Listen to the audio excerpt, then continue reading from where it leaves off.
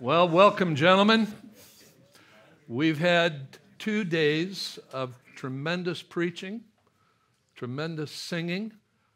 It is a joy to hear men sing who love Christ and to be able to be with them.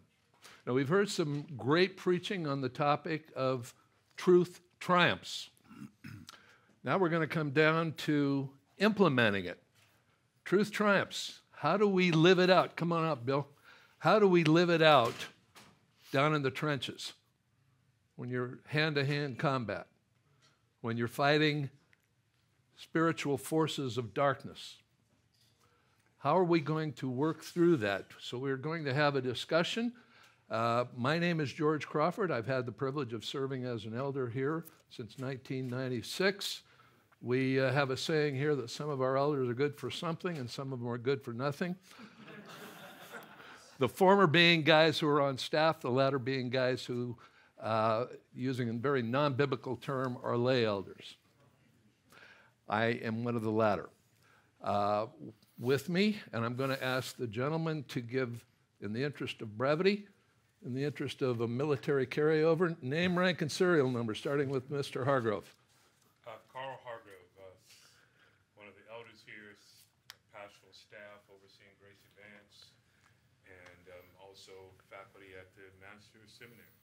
And what uh, areas of ministry do you do here at Grace? Grace Advance is uh, a ministry where we help uh, churches in North America plant churches and revitalize.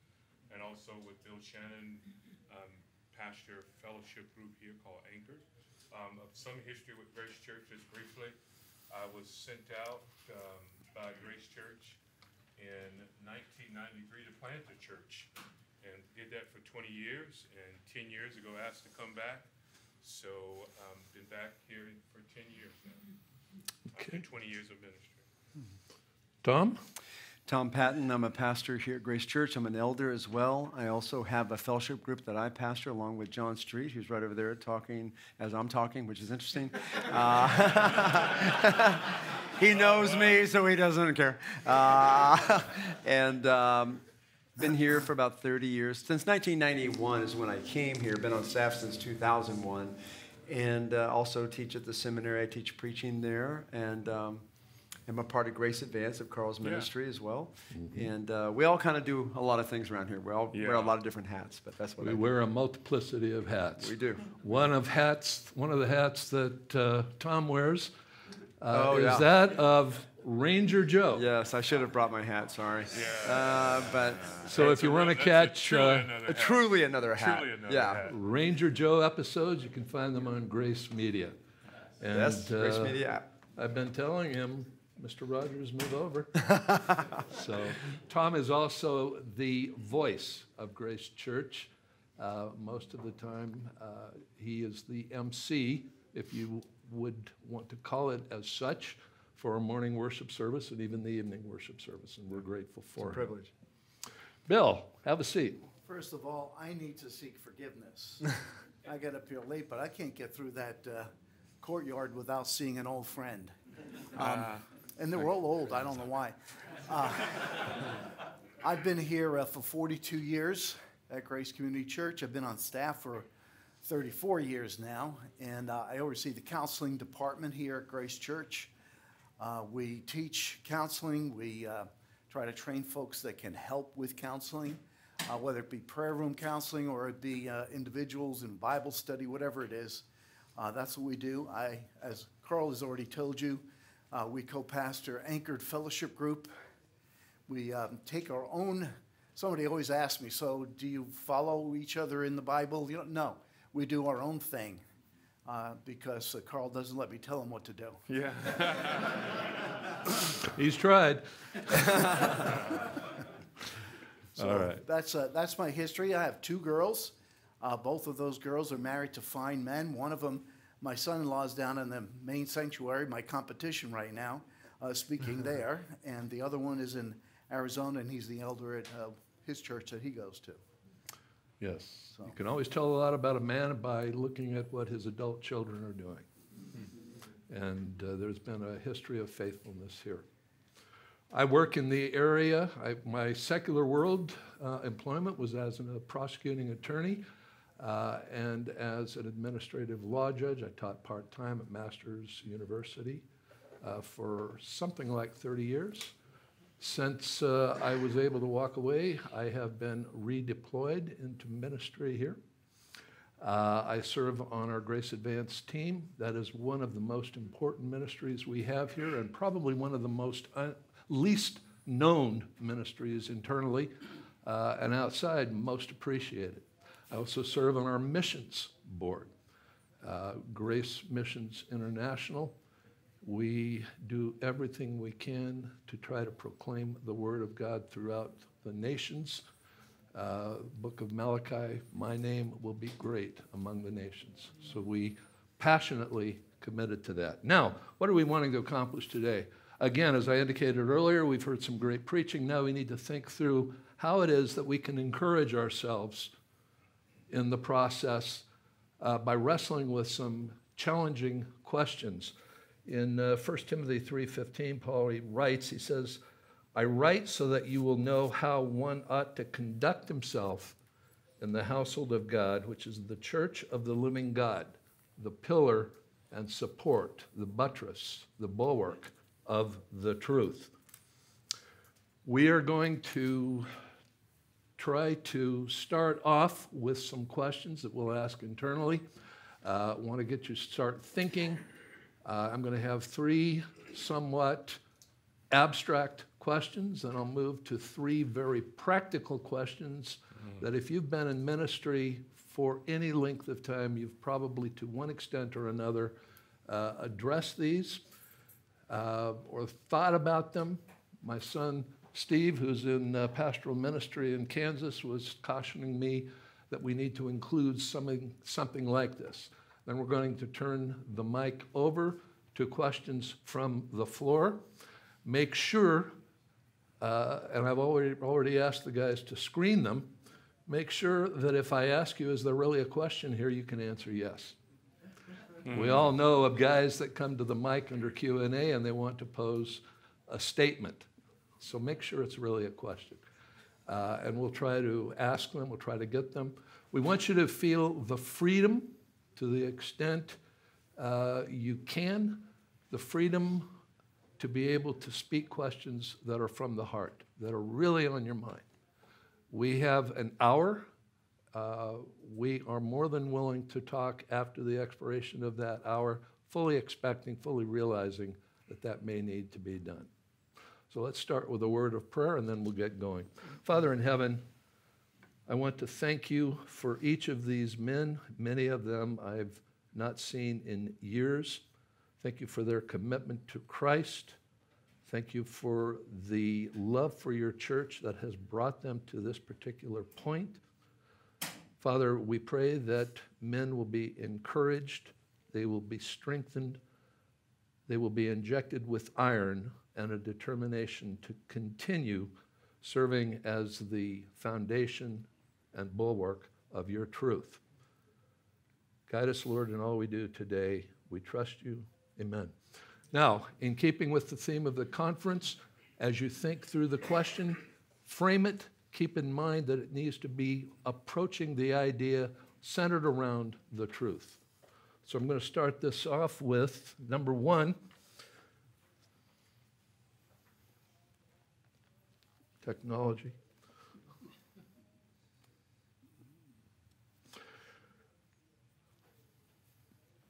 Over the last five to 10 years, in our culture, in the church at large, or, and at Grace Community Church, where and how have you seen departures from or disobedience to the truth? Oh my, five to 10 years? Five to 10 of years. Disobedience to the truth, and we have an hour. Um, yeah, well, I, I, think you go back to just that the truth. So all of the departures um, are going to find their origin in a denial that there is an absolute truth. So I just think it's been manifest in different ways, whether it be manifest in how we understand gender, whether it's been manifest in how we understand a woman's role, uh, a man's role, whether it's manifest in, in how we preach, uh, whether it's manifest in what we believe about Christ. Um, all those things have an origin, and the origin is based in a denial of an absolute truth. Okay. Uh, you know, it's the question that, that Pilate asked, what is truth? Well, we have the definition for that um, because the church, according to uh, Paul's words to Timothy, uh, the church is the pillar and supporter of a truth. Did it say that? No, the truth uh, that we proclaim, uh, the gospel and all of its implications uh, that come with it. So it's just the, the manifestations of disobedience are varying. Okay. Yeah. Um, everything, like I said, from how do we understand a man to same sex attraction to uh, the list goes on and on and on. But the basis of it is a denial of truth. Yeah, and I if you're not sure what truth is, Mark Zhakevich is doing a seminar right now on the topic if you want Yeah. to transfer. you can leave now. That's fine. Tom, you were going to say something. No, I was just going to piggyback off what Carl said. I think, you know, when you think of the culture, um, the departure from the truth is probably most manifested in the fact that um, they no longer really hold to a truth. They never, no longer really hold to some of the things that we're used to. Um, I'd say, generally speaking, it's more permissiveness in sin. That would be the general topic. Uh, being more permissive, more uh, less guilt, even on a very superficial level, Huh. to feel uh, any kind of restraint upon them. It says in the scripture that the Holy Spirit, in the uh, days of the man of lawlessness, will uh, release his, his uh, restraint. And so it seems as if that restraint is becoming less and less as time goes on. So, without the particulars of how that looks in the world, I think um, my mind goes to how it looks like in the church, what it's been the big effect over the last 10 years. Sure. I remember when my dad was in the church uh, as a young man, uh, there was always a sense that maybe the church was more biblical back in the day. We're talking about in the 50s and 60s. Um, but I've learned as time goes on that's not necessarily the case. It was more masked. Uh, more and more, the church was kind of just being moral and trying to uh, not really speak about things that were urgent. For instance, uh, church discipline, we think, or I used to think, was something that was a part of church history when my dad was growing up. I asked John MacArthur one time about that. He said, You know what? I don't remember church discipline even being in my father's church or the churches at his time. So, this is something that, in some ways, we've come more advanced in some of our Reformed circles to be uh, taking the Bible more seriously. But you see more permissiveness in the culture, and I think you see um, a, at least in our circles, more seriousness about uh, the doctrines of grace and, and the truth of the scripture. So that's happening. But I know it seems to some people who are looking at it maybe a little superficially like this is an avalanche and where is this all coming from? But it seems like the storm has been building for a very long time. So I'm, um, I think Martyn Lloyd-Jones is the one that said, you know, I'm, I'm really never surprised because the Bible tells us that these things will happen. I'm not sitting in shock thinking, how can this be? But I think our people are in shock and our people have to be fortified. And so, one of the greatest things I think we can teach our people is uh, this is not a surprise to God, and we can prove that by going to the scripture and showing that these things have been predicted from Jesus' day and before. And I think that's a helpful way to look at it. So we, to some degree, uh, react to that by helping our people get past Yeah. the shock, by helping them to realize that this is nothing that has taken God by surprise. Right, and I think they find comfort in their pastor having that kind of um, poise about the truth so that they're not seeing you shaken by the things in the world because you're rooted in the scripture and you know what our Lord has said and what the uh, book of Revelation has said and the book of Daniel that we found out from Abner. These things are to make us shock proof, if you will. We might be surprised, but we're not shocked. And to some degree, we help people by uh, helping the weak, strengthening the weak, dealing with situations where people have been scarred. Bill, you want to talk to that? by the loss i- of. idea of what's coming into the church, I think is what's been in the culture for a while, is the cancel culture is starting to come into the church. And some of you men start to feel that pressure from people um, that are not liking what you're doing or how the church is doing it and those kinds of things. And they bring those questions in all the time, and uh, it, which has absolutely nothing to do with the truth, but they're, they're hammering away at you um, uh, ever so slowly, and I think that's part of what Satan's plan is, and, and uh, he's using the people of God even to do those kinds of things. How do we help them, though? How do we help our brothers and sisters? And the only way to do that is through the truth. I think of uh, 1 Timothy 1 5, the goal of our instruction is love from a pure heart, a sincere faith. That's what we're that's the goal of our instruction. We need to keep teaching them and teaching them and teaching them even when they don't listen. I can remember not too long ago receiving an email from a husband and wife, and the husband and wife wrote, We are not listening to you in the counseling room. You're not the only one, is what I answered. but that's what. If what Bill happens. wanted to hear that, he could talk to his wife Donna. Yeah, well, I do listen to her. but I mean, that's part of what the, the people want to do. They, they want to throw back at you that you're not what you are saying you are. Okay, great. Now, it's interesting that you mentioned Satan. In my own uh, personal study, I've been reading Luther's commentary on the book of Galatians. Galatians 3:1, and this is from the NKJV. O foolish Galatians, who has bewitched you that you should not obey the truth? And that's added in the uh, King James and the New King James. You won't find it in the NASB or the ESV.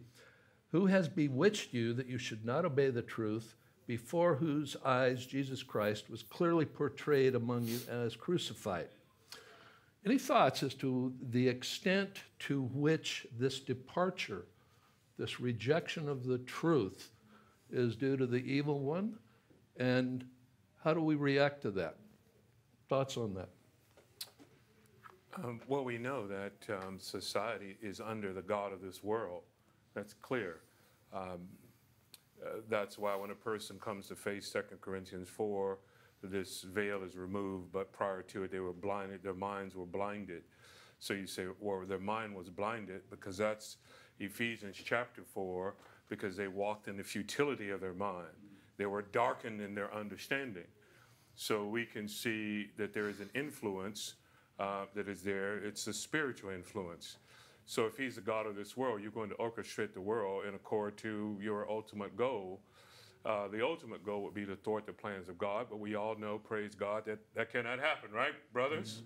That can't happen. We know how it ends. Our God is victorious, but He is doing everything He can to disrupt um, God glorifying Himself, which means operating through principalities and power, powers and higher uh, entities in these uh, in society, uh, in politics, in culture, um, in religion itself, because every other religion, uh, its backdrop is going to be the enemy, uh, because he is the enemy of the souls of men.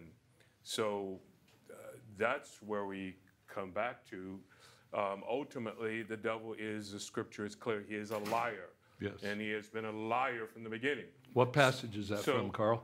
So, John, 844. Yeah, eight- yeah. Make sure. Two things. He Okay. is a murderer and he is a liar. Yeah. And when he speaks, he speaks lies. It is his native language. Go ahead. which is the opposite of what we're talking about, lies don't triumph, truth triumphs. So he will not triumph. Um, the truth will be triumphant. So Christ told us that's his very nature to do that. So in society, we can say that uh, the lies are um, propagated by the hand of the enemy. So we do battle. This is why Ephesians chapter 6, 6 tells us what? That we, we're not fighting against flesh and blood. Uh, this is why Paul said, even what we heard in the first message um, from Second Corinthians, that um, these spiritual fortresses we bring down.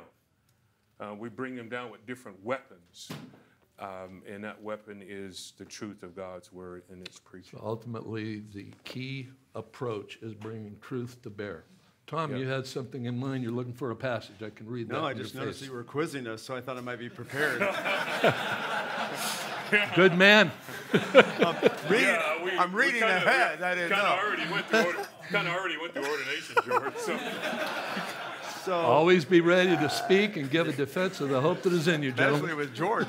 Uh, Go ahead, Tom. no, I was just going to say, um, in our particular context, because of the fact we are just down the street from one of the largest charismatic churches in California, um, we have dealt over the years with the fact that people have come and done a lot of um, confessing blame on Satan for their sin. And so Sure. instead of going to the book of James and speaking about, well, isn't that from uh, the temptations which wage war in you? And, and isn't that also your own sin giving birth to that? And, and um, so we've had to kind of walk people back from emphasis on, you know, as uh, Sanford and Sons used to say, the devil made me do it. If you remember that, some of you are not old enough to That know was that. Flip Wilson, Flip Tom. Wilson, excuse me. Uh, Yeah, uh, Flip Wilson. I, I defer. Uh, so uh, I can't get the scripture right or the television program right. But, uh, but do you know the idea there is uh, that's a real thing that sometimes our church, I believe, can almost discount because we're trying to overcorrect from people Sure. who think that there's so much influence by Satan that um, the devil made me do it. So Sure. it's a balance that we walk. Uh, years ago, people would come here and um, have just been so uh, obsessed with the idea that Satan is uh, guiding their every thought, even though they're believers. And we're saying that can't be true. Uh, you can be influenced, you can be Sure. harassed. Um, Satan is powerful. Uh, you go to the book of Job, chapter 1, and you see, uh, with God's permission, he can do whatever God allows him to do. As Luther said, uh, the devil is God's devil. Correct. And so that is something that we have to keep in balance here. So instead of overcompensating and trying to say, no, it's all just your sin, we have to have an appreciation for the fact, no, Satan is real, is the tempter. Even in the, uh, in the uh, Lord's Prayer, uh, many translations will say, you know, keep us from temptation and deliver us from evil or from the evil one. The evil one. right? So you have Sure. to be mindful that there is a balance in that, and you're always kind of never wanting to discount the power of that creature, uh, as was described earlier today, but also on the other side, not to de emphasize someone's own sin for leading them into temptation.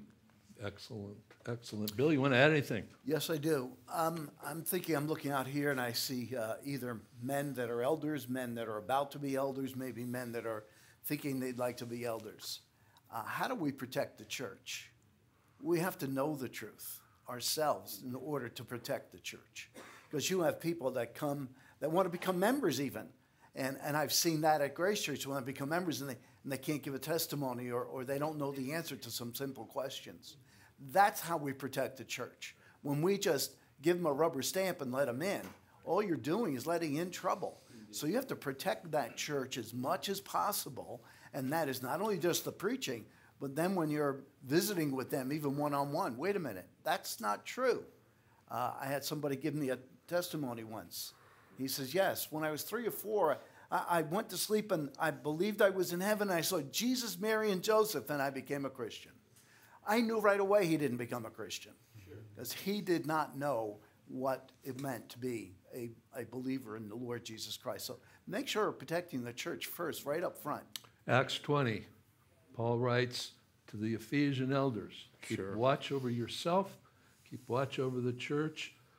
One of the most thought provoking passages in all of the New Testament, he says, From among yourselves there will arise men. And these were men who he had discipled, these were men whom he had uh, served with, prayed with, cried with. He says, From among yourselves there will be men who arise to pervert the truth, to draw people away after themselves. And we have to be vigilant against even that. Fantastic to point that out, Bill. Uh, if you want any more thought on this information, I would recommend, uh, first of all, John's sermon, November of 2017, on this particular text, Galatians 3:1. Uh, also, Luther on Galatians 3:1. We don't want to make too much of it, but we do not want to ignore the reality of it. Now, we're living in a world as a culture, we've talked about this already. Uh, Romans 1:25. We're looking at a world that uh, has perverted good and evil. Isaiah 5:20, Malachi 2:17. People are saying, "Where is the God of justice? Why isn't he doing anything about this?" They're calling that which the scripture says evil, they're calling it good, and they're doing the converse. How do we cope and respond to that within the church? I'll start with Bill, and then we'll work our way back to Carl. Uh, again, you still have to come back to teaching the truth. If, if you're just having uh, coffee uh, and, and just having those kinds of times, I think you need to be upfront with your people and teaching them all the time. Uh, that is what's, I think, most vital is um, uh, somebody came here and visited Grace Church. They took a, a, a, a walk around. They spent uh, two weeks here. The guy came to me afterwards and he says, All you guys do here is teach God's word. and I, we say, You have a problem with that? And I, I, I, looked at him and I said, Is there something else to teach? Because, I mean, what do we have? This is the only thing that makes us valid. Right here is God's truth, and He's given it to us, and we need to continue to teach that. And that, by the way, is the basis of all of our counsel. There is at times very subtle ways of trying to inject something else into being the basis of our counseling. No, we are from the scripture. We will not speak beyond what God has called us to say. Tom.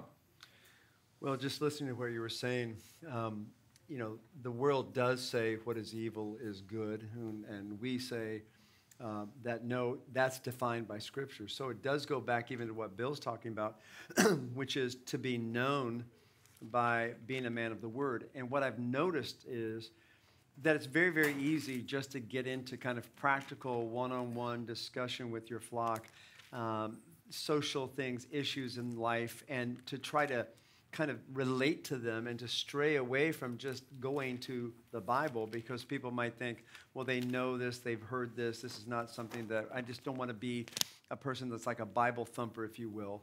But in my experience, when you don't do that, at least at our church, and again, I haven't been anywhere in years and years, uh, he's thumping the Bible, uh, is that uh, when we don't do that, people will literally criticize and will sit there and say, you know what? So and so, I went to see him, and uh, he didn't open up in prayer. He didn't direct me to passages with addresses assigned to them. Uh, all we did was talk about my issues. And I'm mm. thinking, that happened here? That happened at Grace Church? So don't be afraid uh, to just open the Bible. In fact, in my office, if you come in, I just have a Bible that's already open on the other side of the table. And it's there so people don't even have an excuse because if they don't bring their Bible, there's one right there, it's open. And then I have them read out the passage that I'm directing them to because sometimes it's even more effective for me to have them hear their own voice speak God's word than even me to speak it to them. So they have to actually take the mm. time to do it. It's, it's a simple little technique someone told me years ago, but again, it goes back to the question how do you discern between what is good and what is evil? Well, there's only one way to discern it, and that is through God's word. And we believe that, but sometimes through time urgency or just, I don't know, the, the desire to be, um, maybe if you have a small church, the desire to be uh, more kind of a friendly, um, user friendly kind of church where you're not trying to quote unquote judge them, uh, that you might talk uh, politics, you might talk philosophy or whatever you might do, and you know it's not what they need, but you're trying to be relatable, I would just really say that the most relatable thing in the world is just cutting it straight. Mm-hmm. And cutting it straight with the Bible is the only option that we have. Great. Mm. Tom? Uh, Carl? Carl, yeah. Um, let's just kind of be direct here. Um, it's the Word of God. We all agree with that. Um, that's why you came here with 5,000 other men um, to this conference because you knew you would hear the word of God. So look at First Timothy with me. You would notice if you were to go through Timothy, I think there's like 13 places where you're going to see doctrine either said specifically or by clear inference. Um, verse 3 not to teach strange doctrines. So you're instructing, which means you're teaching. Verse 4 Five, the goal of our instruction love, pure heart, good conscience, sincere faith. Notice verse 15.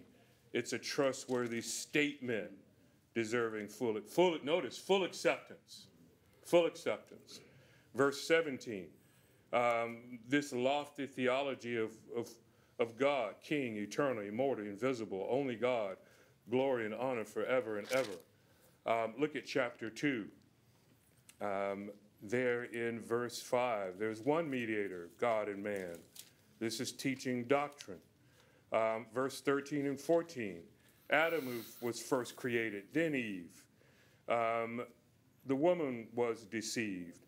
Look at chapter 3, verse 1. It's a trustworthy statement, he says. Chapter 3, 15, um, how you should conduct yourselves. Now, this is your behavior in the household of God, which is that pillar and support of the truth. Chapter 4, verse 1. Let me tell you, the latter times, we've already talked about that. Mm-hmm. Expected. This is what Tom was saying. Expected. The doctrines of demons. Again, there is doctrinal um, misappropriation error in the church. Who's behind it? Well, the scripture just says demons are. So, verse 6 um, the words of the faith and the sound doctrine which you've been following. Verse 9 trustworthy statement. Verse 11 prescribe and teach these things.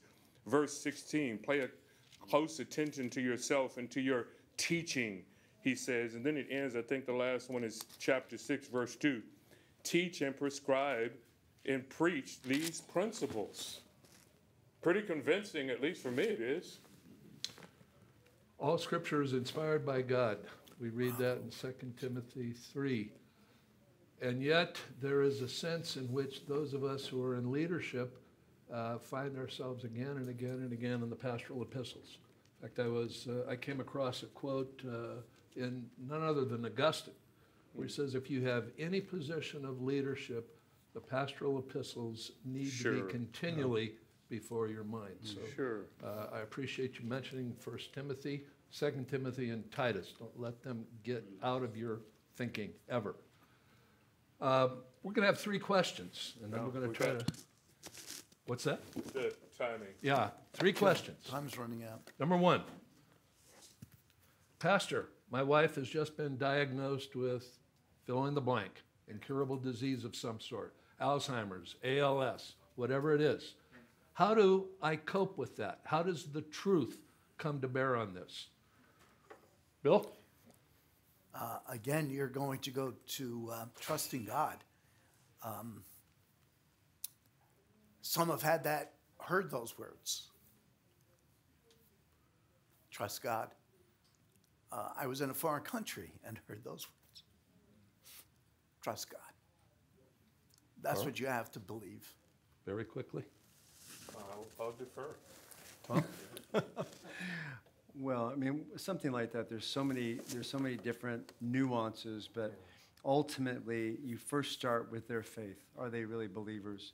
And I know that seems like such a, uh, it can become such a, um, a difficult thing at times. You've somebody in your church for a long time and they're going through a hardship.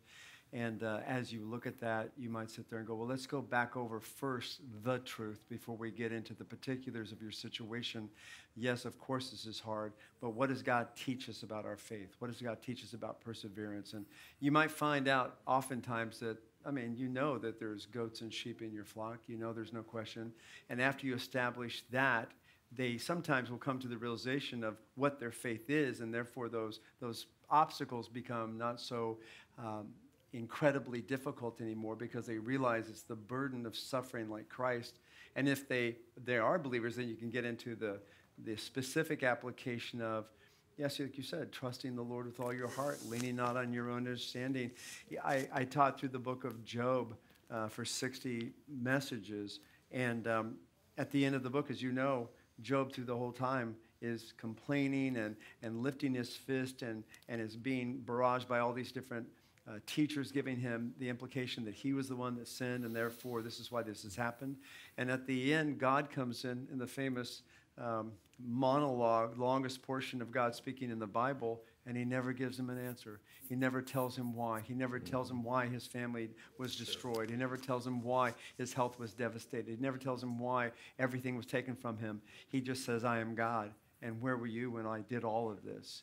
And, and that's a lesson. That's a lesson that I've actually taught to people in the hospital when they're little girl was sick and has a form of cancer, and the in laws have come into town and we're speaking about that. And I say, because God says the answer to the issue is, I am God. And then would have to go down the elevator with them, walk them to their parking space, and they're silenced because they don't even want to talk to me because they think I've been so insensitive and so harsh because I didn't give them an answer other than what the scripture says, which is we submit to God. This is God's will, and we know He's righteous and good, and there is no answer other than trust Him. So it puts us in a situation where making sure first they're saved uh, to the degree that we can, and then administering the truth, and then actually being prepared for being misunderstood, and just prayerful and hoping that the Lord softens their heart. Can I, let me yes, say something to this. I think this is important too. Um, truth triumph. We're hearing a lot of excellent preaching about these things. Uh, we are men who believe truth. Um, but as a pastor, learn that you don't always have to give an answer. True. Um, here's something else you can do. Someone comes to me, and I've had it before when I was particularly pastoring for those 20 years. Uh, I don't have to have a solution. Silence can be ministry for someone. Hold their hand. I'm there with you. Don't think that somehow you have to walk them through what I just walked through in First Timothy. Then you're, you're an expositor now because you've given them all these wonderful biblical answers. Uh, be quiet for a while. Cry with somebody for a while is what you need to do. That's the best thing that Job's friends did. The only good thing they did. Yeah, exactly. Yeah, We- so be careful, guys, in thinking that, so, okay, I, I'm a believer in truth. Uh, Okay, I gotta, Romans, what, Romans eight twenty-eight, I've gotta get Job, I've gotta do this, I have to say that, I have to say that. No, just, what, what are you feeling? We have an How Alzheimer's support ministry here at Grace Church. We've had people who have uh, gone through that route. We've had families that deal with it. We've been meeting for about uh, something like 11 years. We've seen something like 20 people. Uh, We took stock this week to try to think through. When you get this kind of word, you will become a theologian, one way or another. You will either be a theologian that is solidly biblical, and right and good, or you'll be a bad theologian. You'll be blaming God, one way or another. So, focusing on truth is sometimes extremely important. We've looked at the reality of aging. This last time we met, we looked at the importance of being created in the image of God, the Imago Dei. Uh, how is it that we treat the individual, the family who's going through that? We remember that they are in the image of God. We remember the reality of the fall. Truth helps. It's sometimes it's the only help that you're going to have when you're going through that crisis. Next question, Pastor. And this is actually a pastor who's giving the question. I've given everything I've had I could to the sermon I just preached. Time away from my family, time away from my kids. I worked hard into the evening. I poured out my heart, and I go into the office on Monday morning, and I've got half a dozen emails from people who listen to me and they're just ripping me apart. Or you could change the uh, scenario and say, I've been counseling this couple for the longest period of time, and now I open up the newspaper or I turn on the internet and I see my name being just ripped to shreds. Never thought of that. Never thought of that. Yeah, we need to kind of. How does truth triumph? How does truth help you to cope in that? Tom. Um, I'm going to do something a little bit different here. Yeah. I, I, I, not that I don't know the answer, because I, I'm just going to do what Carl Giving says. and Bill be time to think. No, no, no, no, I- I no. I don't know just- the answer, Tom, so please. I would, I would, I really want to. I'm not trying to forego it. But I think we only have like 20 something Yeah, we minutes. do. I want to hear from you guys. I want to hear questions that you have. And if that's your question, I'd love to answer it. But I'd love to know what's on your all's hearts too. So when you come for a question and answer, I want it to be at least partially towards you as well. Is that okay? So do you have a question? If you could walk up to the mics and ask something for us for the last 20 minutes so that we can, uh, I want to know what's on your heart. And if, if your heart is about those emails, then I'd just say, um, be silent, be kind. The longer the email, the shorter the response. That's what I All say. right, so we've had an answer. I was going to overrule the That's an brother. answer. That's the answer. All right, There you go. committed to Christ. All right. Thank you. I wanted to know how Grace Church handles a divisive person or identifies a divisive person versus somebody that's hard to handle. Hmm. And especially too, if they want to come back to your church, is there a rematriculation? And, um, and as far as, um, the doc, when, when they first come to Grace Church, I've, I've heard good that, um, they don't have to subscribe to everything in the doc- doctrinal statement perfectly, because you want to give people that are new to the scripture more time. There's churches by me in New York where they have the sixteen eighty-nine confession, and you gotta subscribe to it as soon as you come to the church. So s- speak to those issues for me. Gentlemen? I think for the divisive person, if I may speak to that, I mean Titus three ten, they would be put out of the church. Some of the I think they- characteristics. Yeah, that, that, that person who is divisive, you know, divisive, what is a divisive person? Uh, they would be uh, calling up others and saying the pastor did this, or the pastor's wife did this, or they're, they're talking about the doctrine then, they could be divisive with the doctrine. Those kinds of things, they should be put out of the church. Matter of fact, we did it in one week once, where the fellow said that on a Sunday, next Sunday he was gone. Because you don't want the church to be divided. That's, that's one thing. How do you get them back? How do you get them back? That's gonna take some time. The elders are gonna have to sit down with him and talk with him or her and work through the issues. It's not just one sitting that you spend 15, 20, an hour, minute, uh, uh, an hour with them. You need to spend time because you wanna make sure the person that's coming back actually knows what they did wrong going. And some of them don't understand that sometimes. They Yeah. can have doctrinal differences. You know, if, if you want to believe in uh, certain things, that's okay. There are certain key uh, doctrines that they must believe. It's like I, I asked, had this couple for counseling once, and, and, I- and I asked for their testimonies. The gal gave me her testimony, and I'm in my mind going, I don't know. And the guy gave me his testimony, and they said, But I don't believe that Jesus is God. I said, You just made that easy for me. You're not a Christian. I, I mean, I did that immediately. I said, "You're not a." Chri-" He started arguing. I said, "We'll get to that. Okay, we'll get to that. We'll talk about that. But you obviously have a terrible marriage. Let's work on that a little bit. But let's let's let, let's get that. And you understand you're not a Christian. So I think those are the kinds of things. You guys want to add to anything? Well, you, you asked the question about rematriculation. Um, that's, if they're repentant, sure. But there, what Bill has said, observation based on the gra- gravity of what, why they left. Um, and that may take longer, could be a shorter period of time, um, based on how repentant they are. We want to restore, Galatians, we want to restore. We want to set the bone in order again, um, but we have to look out for the flock. Factious and divisive conduct, by the way, is recognized as a public sin. Calvin points this out, that will require quicker action Sure. to protect the flock on the part of the elders. Uh, a lady once said to me that uh, she didn't believe all that we believe at Grace. I said, "What do you believe that we don't?" She said, "Believe uh, speaking in tongues." I said, "Well, you can become a member still. She wanted to become a member, but you just don't go around professing that Sure. as doctrine." Three years later, she walks up to me. She says, "Well, I believe like you do." I said, "Can you please tell me what I believe?" I, I- I want you to tell me and articulate that. And she said, "Well, I realize I, I speaking in tongues is not something for today." Sure. If we can uh, make the distinction, we believe that if you're part of the body of Christ, you, at least in theory, should be able to be a part of our church, a member of our Sure. church. That does not mean that you're going to be asked to teach a Bible study or uh, lead a fellowship group. Yeah. Okay. All right, thank, Over over here. Thank you, here. Chris. Hi, thank you. There we go. Hi. Um, I had a question in. Okay. Okay. In the conference about There like truth triumphs, there's there's definitely big theological differences between like John MacArthur and John Piper. So, and then you have another category of like Romans 14 issues of conscience issues. So how do you stand for the truth dogmatically, but also like leave the door open for disagreements on other matters and then disagreements on conscience issues?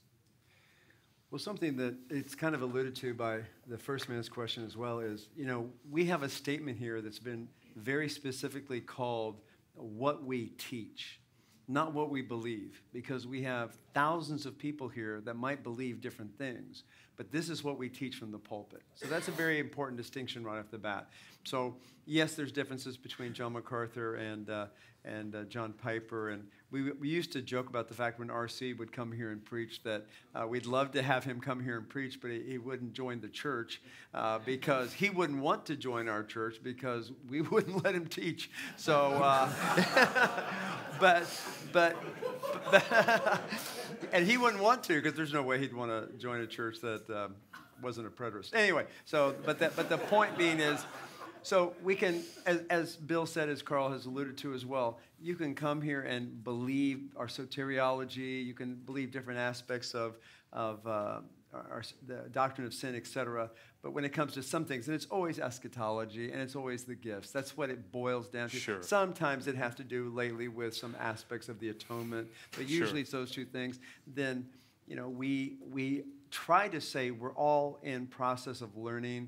If you have a teachable spirit, I think this might be what you're asking, I'm not sure, then you can of course be here and we want to come alongside if you become divisive or you want that you want to teach a Bible study like we said or you want to um, you know, make your stand, then you're not going to be happy here. Uh, Why would you be here? You want to go someplace else. People go, well, you're the only Reformed church that is in the neighborhood or in the maybe the state.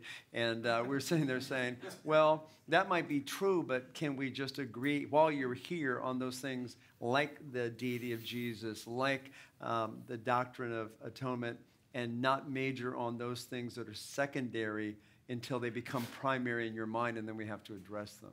So, and that takes a lot of um, sensitivity to the nuances of that. That's not a hard and fast thing. That through that's through hours of counseling and talking to people and trying to be sensitive to that. 1 Corinthians 15 talks about matters of first importance. Hmm. And you mentioned Romans 14, and you can see some of the matters outlined there that we would probably not consider to be of first or primary importance. Next Yeah. question, over here. Yeah, I would love to know from each one of you, just like y'all have been doing pastoral ministry for so long, and I'm pretty young, I'm 24, and I'm just curious why each one of you has done pastoral ministry and why you have chosen to stay in it for so long.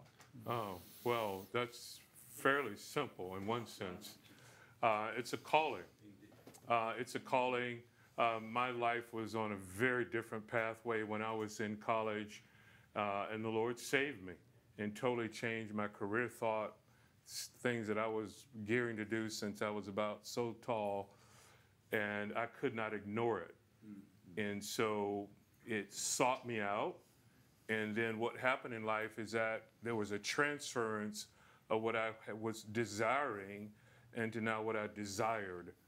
And that desire now overwhelms me. And it keeps me. And as Paul would say, you know, like the love of Christ controls him. Mm-hmm. So now, because it's been shed abroad in our hearts and shed abroad in my heart, now I am, like Paul would say to Timothy, no soldier in active service entangles himself in the affairs of everyday life so that he may please the one who enlisted him. Mm-hmm. So now that I've been enlisted as a new soldier, because that's what I wanted to do, make a career of the military, and I was headed down that path, the Lord says, no, you will, be, you will fight another type of battle. So why do I remain? Because I'm still enlisted. um, and the problem with the soldier, there's something that's called AWOL. And I don't, you cannot go AWOL, which means you, you're away without leave. And the only leave that I'll get is heaven. So that's it. I'll do this as long as I can. It may not be in the same capacity, but I'll still do it. Have any former Marines in here? Marine Corps motto? Semper Fi. What's it mean? Always faithful. That's right. Yes. Okay. For myself, in 1982, I got saved in Montreal, Canada, Canada on a business trip. And uh, I had no idea what that meant, getting saved. I mean, I had no idea what it meant reading a Bible. I had never seen one before. All of those kinds of things. And instead of divorcing my wife when I was coming back home to California, which I was going to do, so I got to find out how to be a husband. Got to find out how to be um, a, a- father. I got to learn how to do all these things. So Sure. I got somebody to start speaking into my life right here at Grace Community Church. By the way, the lady in Canada's pointed me to this church. So that's what I did. And, and when I was meeting with this man, he poured his life into me. He, he taught me these things. And so when these master seminaries started, uh, I said to my wife, I think I've been called. she says, I don't know how to play the piano. I, I said, Don't worry about the piano. She said, But I don't have a flower We'll dress. get you lessons. And she said, I don't have a flower dress. I said, I can take care of that. But, but that's what, and why do I stay? I, I stay because I see God's people being helped. I see people getting saved, stopped from getting a divorce, stopped from doing sin. I, I love to see that, and my wife and I rejoice with that uh, regularly in our home on a Sunday afternoon when we have people over. Tom? Well, first of all, what a great question from a Yeah, 24 year old. That's right. And I pray that that's on your heart. I, I'm sure that's why you're asking the question. Um, I wanted to be a pastor when I was five years old. Uh, the only problem was I wasn't saved till I was 30.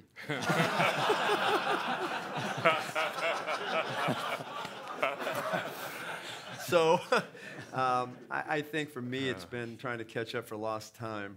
And Sure. um, but honestly, if you have a heart for people, you're going to be just to be full disclosure. You're going to be hurt. You're going to be wounded. There's a lot of disappointment.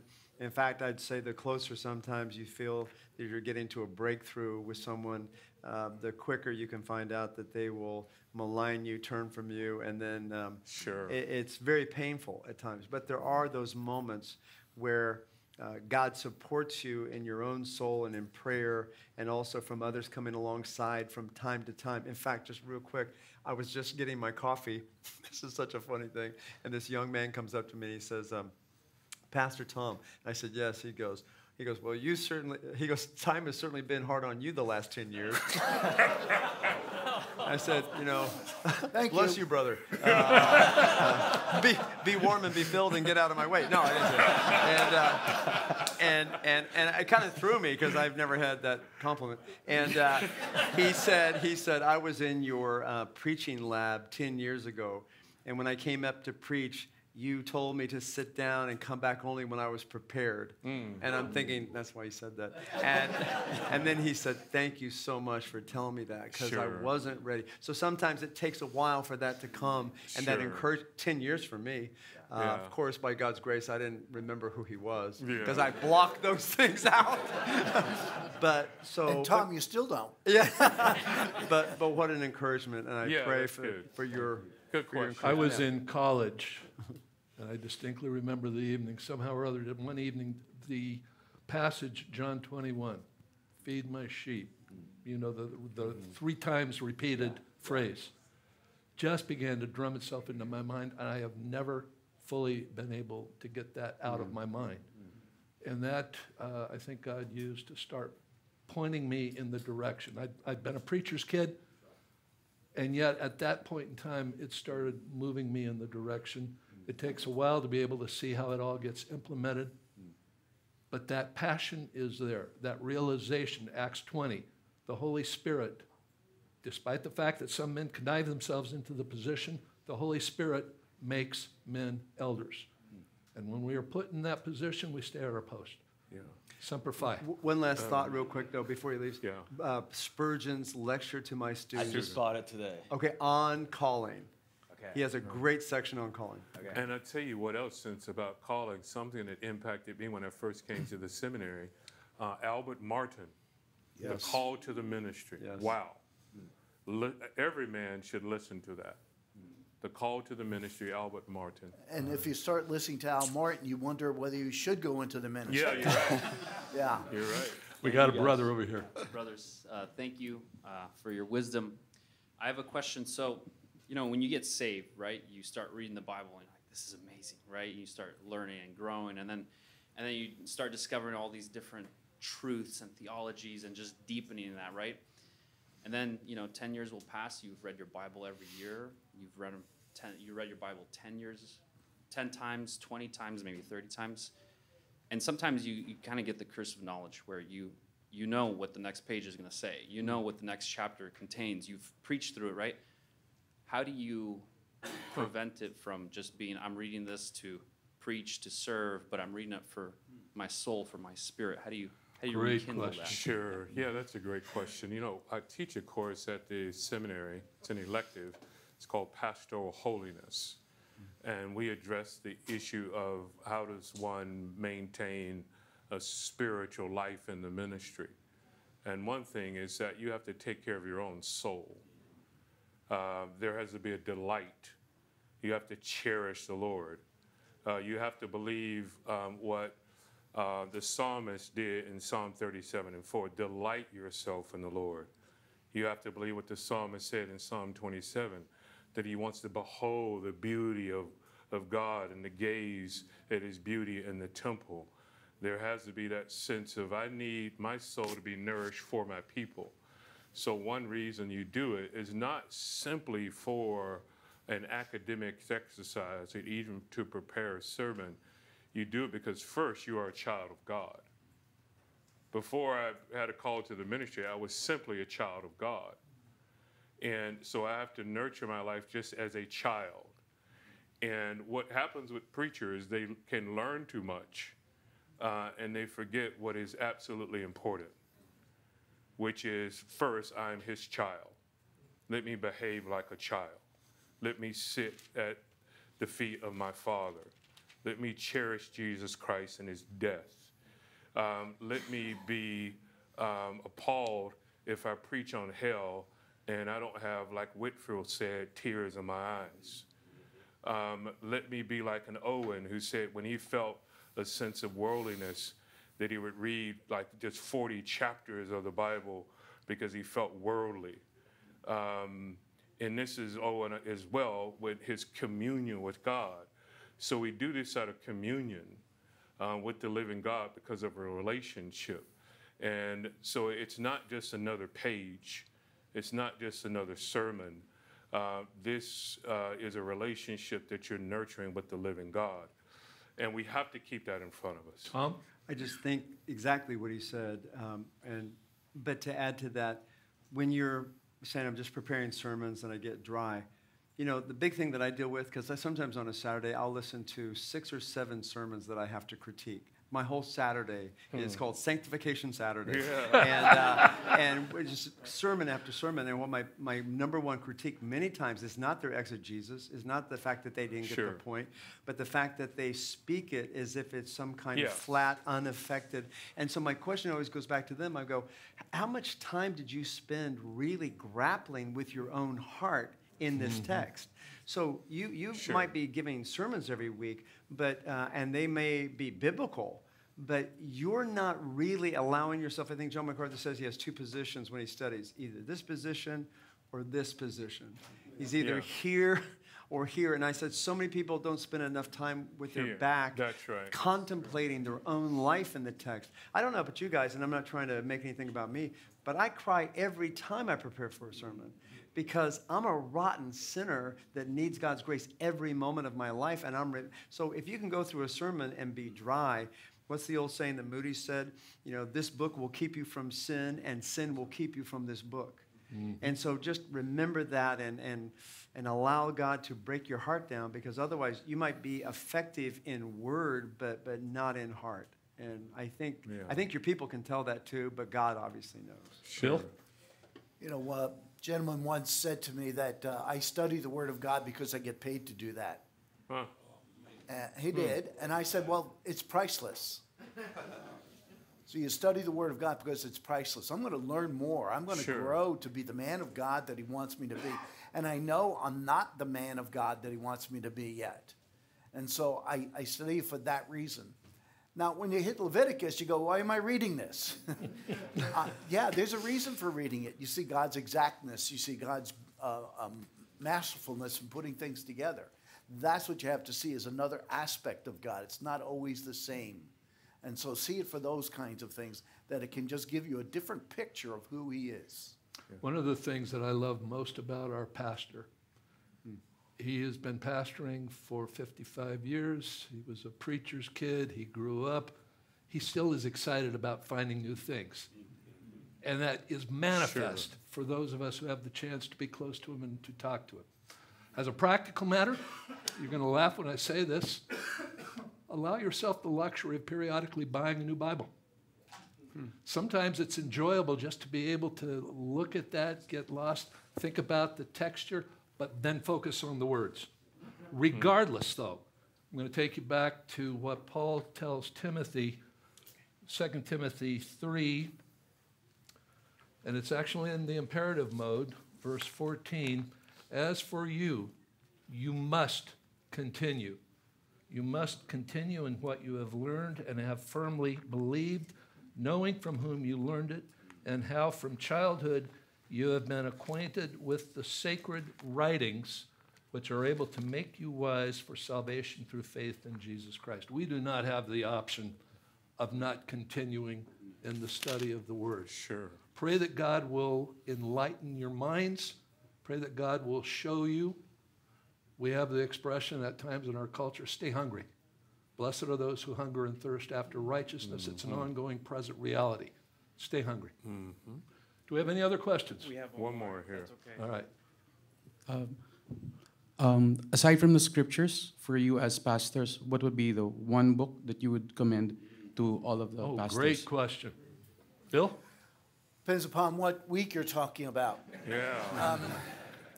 I read lots, and, and lots of books. Um, one of them, The Power of um, Christian Contentment, just recently, uh, has touched my heart. Uh, I've uh, fallen in love with that. But I also like to read uh, biographies. Yes. Um, and so I'm, I'm reading those kinds of things. I, I've got um, one now about a guy called R.C. Sproul. We were talking about him before, and I'm reading that uh, that uh, Nichols put together. And so I'm always reading. I've always got something. And uh, then the War with Children just came out. Uh, War Against Children just came out, and I'm reading that as well. So I, I just like to read.